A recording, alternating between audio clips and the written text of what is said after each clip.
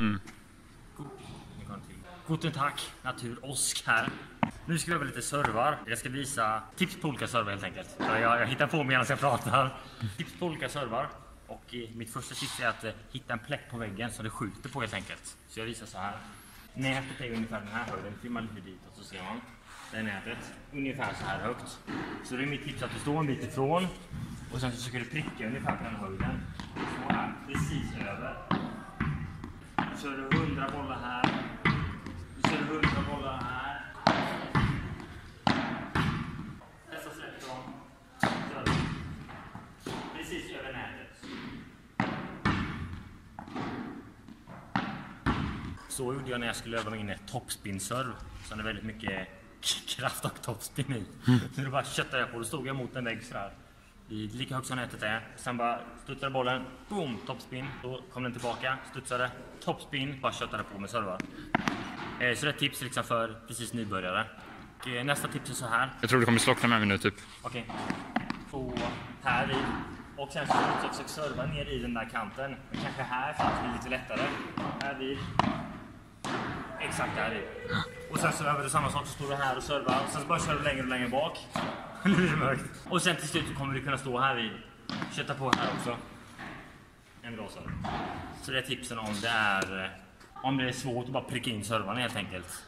Att köra, köra lätta saker sen, så man inte börjar med det allra svåraste. Utan börja bara se till att du prickar in i rutan. Sen backar du så kör du massa därifrån. Till slut kommer du kunna köra härifrån. Nästa grej då är att många vill, eh, vill ha lite skruv på servern. Och då är det lite som jag sa i min andra film, om jag nu kommer ha släppt den innan. Att du liksom hugger till lite på bollen. Så jag kan visa några här hur du kommer köra. Här kommer serven. Lite hugg under. Man kan ju testa bara att göra lite så här. För att få lite skruv på den. Så flera på raken. Där, lite spinn på den. Så har den spinn som ni ser. Så det tipset står där vid. Hugg lite. Jag försöker träffa den där linjen som vi snackade om. Här vid. Hugg lite underskruv. Underskruv. Och sen kan man lite sidoskruv med lite från sidan. Så blir det lite där. Lite där på sidan. Om du kör från detta hållet, lite runt så. Så eh, kort och gott är tipset att stå mot en vägg. Sen bara kör en miljard bollar mot väggen. Med lite skruv och bara fortsätt, fortsätt. Backa lite. Och sen så kör man på eh, nätet. Yes! Yes. Ja. Okej.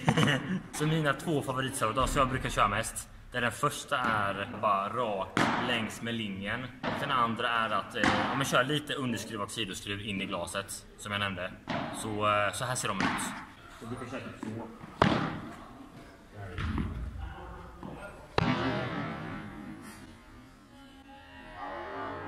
Oh, precis på linjen.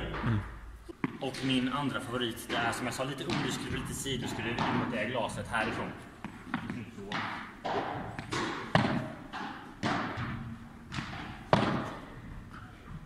Där någonting. Det brukar vara ganska svårt för nybörjare. Sen ju bättre man blir kommer man ju ta sådana här bollar tillbaka hur lätt som helst. Då brukar det vara bra att göra den lite lösare så den verkligen landar ner i glaset. Eller stenhårt så den bara flyger iväg mot glaset. Bara variera så mycket som möjligt. Men jag brukar köra de här två hyfsat mycket. Ibland kör jag med bara massa underskruvar väldigt lös så den verkligen stannar efter. Så det blir liksom en kort serve. Och ibland med topspin som jag sa, bara sticker iväg. Så bara variera. Nu har jag några små tips att köra på. Yes! Mm.